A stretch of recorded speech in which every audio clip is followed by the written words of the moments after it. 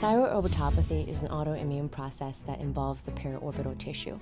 It occurs in the setting of thyroid disease, mostly Graves, Hashimoto thyroiditis, but it can also occur in euthyroid states. The symptoms can range greatly. Um, the very mild symptoms initially can be just some periorbital eyelid swelling.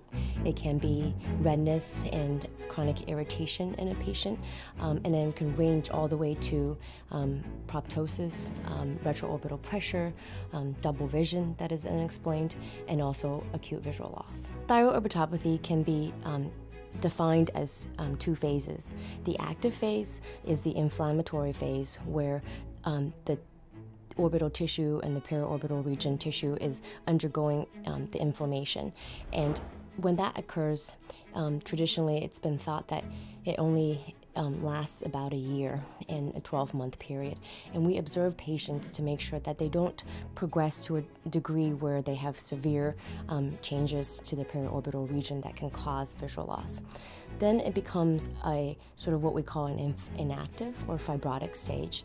And that's when the inflammation has stopped, but the permanent damages to the tissue in terms of the increased volume of muscles, increased volume of um, fat in the orbit has already occurred. There are various treatments, and the treatments are divided into um, for the active phase and also for the inactive phase. In the active phase, we just want to make sure that um, patients do not get to a point where they have permanent damage either to their orbital tissue or have um, visual loss.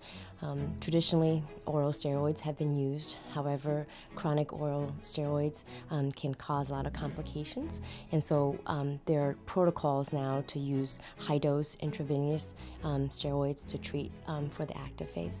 As we are starting to understand the immune process better in thyroid orbitopathy, we're able to understand the, um, the reason for the inflammatory response occur. And we're starting to use some of the biologic agents such as monoclonal antibodies to treat this disease in patients who are refractory to the standard treatment.